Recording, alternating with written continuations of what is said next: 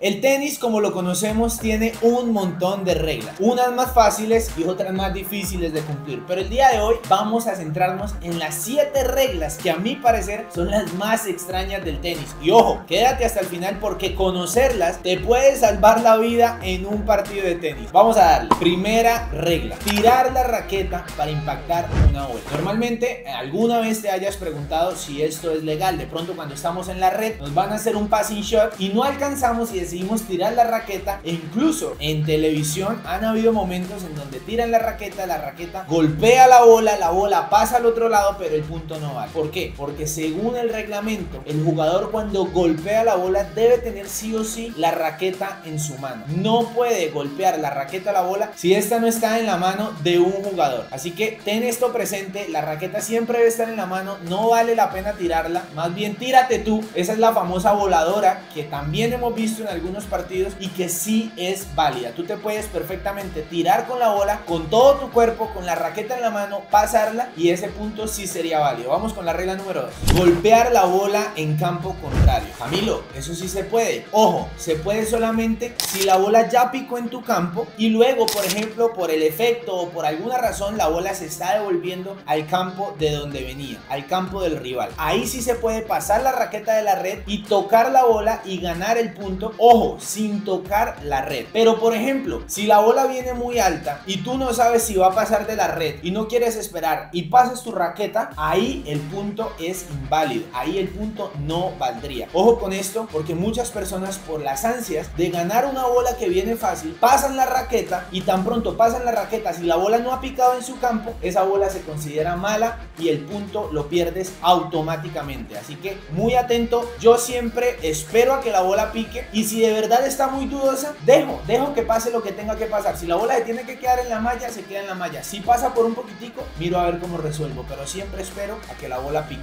Regla número 3, no impactar la pelota cuando sacas y aún así hacer el movimiento. Camilo, ¿cómo así? Si no impacto la pelota, ¿por qué sería malo el punto? ¿Por qué sería falta? Eso se considera falta. Porque cuando tú haces el movimiento, prácticamente estás dando a entender que tenías la intención de golpear la bola, pero que simplemente por alguna razón en ese momento no la golpeaste. Resulta un poco difícil creer que no vamos a poder golpear la bola en un saque de tantas veces que lo hemos hecho, pero créeme que ha ocurrido. Ha ocurrido ya sea por el sol, ya sea por un mugre en el ojo y tú haces el movimiento, no golpeas la bola, pero haces el movimiento y terminas el movimiento, se considera automáticamente falta y tú tienes que hacer el segundo servicio o si es segundo servicio, te doblas y pierdes el punto. Así que ten esto presente, es mejor parar el movimiento antes de hacerlo y dejar caer la bola y ahí la puedes volver a agarrar, la puedes volver a tirar y ahí sí hacer el saque. Regla número 4. Golpear la pelota dos veces en el mismo intento, en el mismo golpe, en el mismo swing. Esto no está permitido. A veces, por ejemplo, cuando llegamos a una bola muy al límite, cuando llegamos a una bola muy apurados y tratamos de golpear la bola, tratamos de cachetearla ya sea con la muñeca, incluso con el marco, hay ocasiones en que la pelota alcanza a tocar dos veces la raqueta. Por ejemplo, la tocamos con el marco, luego la tocamos con la cuerda de la raqueta y la bola pasa, esto no es válido. No se puede golpear la bola dos veces en un mismo swing, en un mismo golpe. Así que tenlo presente para que no empieces a pelear por algo que está prohibido.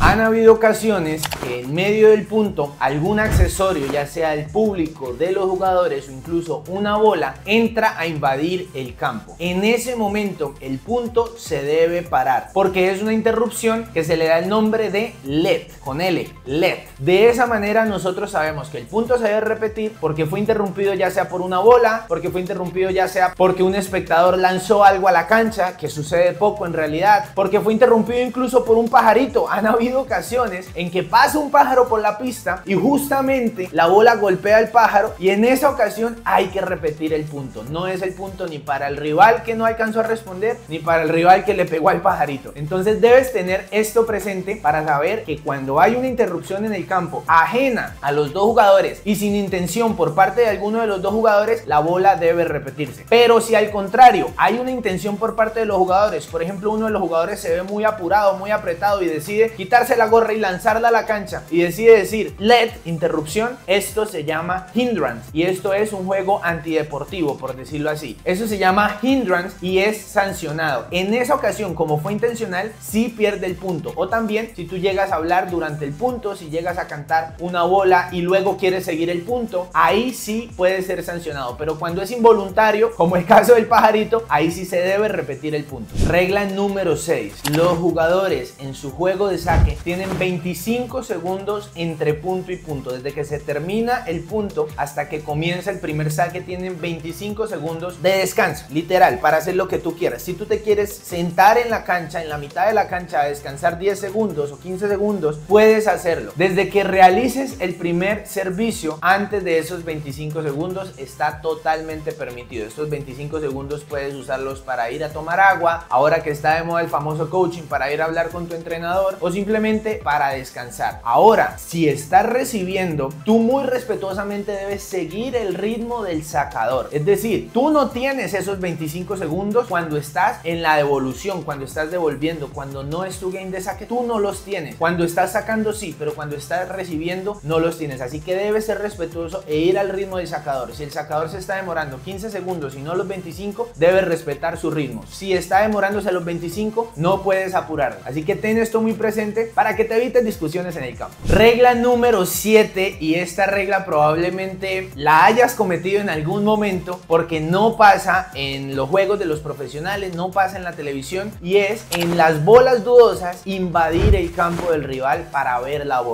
Por ejemplo, si tú estás jugando un partido sin juez, que muchas veces se juegan sin juez, simplemente hay un recoge pelotas y hay un juez general para todas las canchas, en el momento que hay una bola dudosa en el campo de tu rival o incluso en tu campo, ninguno de los dos jugadores puede invadir el campo contrario para ver qué fue lo que pasó, para ver si la pelota fue buena o si la pelota fue mala. El jugador contrario o tú pueden reservarse el derecho de decirle no, no puede pasar. Y tú como jugador respetuoso de tenis, si quieres pasar el campo, le debes pedir permiso primeramente o al juez, si existe un juez, o al jugador. Claro está que cuando existe un juez, simplemente el juez se baja, mira la pelota y no hay necesidad por qué pasar porque la decisión que tome el juez es la decisión final. Normalmente sucede cuando no hay jueces y tú tienes que pedirle permiso al jugador si quieres pasar, pero el jugador aún así te puede decir no esperemos al juez. ¿Listo? Esto lo puedes hacer perfectamente. No significa que estás siendo grosero, no significa que estás siendo envidioso por no dejar pasar al rival. Es una regla del tenis y la puedes hacer cumplir. ¿Por qué? Porque hay jugadores indecorosos, irrespetuosos que quieren pasar al campo del rival para borrar la bola, para simplemente ponerle el pie encima, para tratar de marcar otra bola, para tratar de buscar otra bola y así enredar el punto. ¿Listo? Así que tú puedes reservarte ese derecho de admisión a tu parte del campo en el momento que tú desees, en el momento que haya una bola dudosa.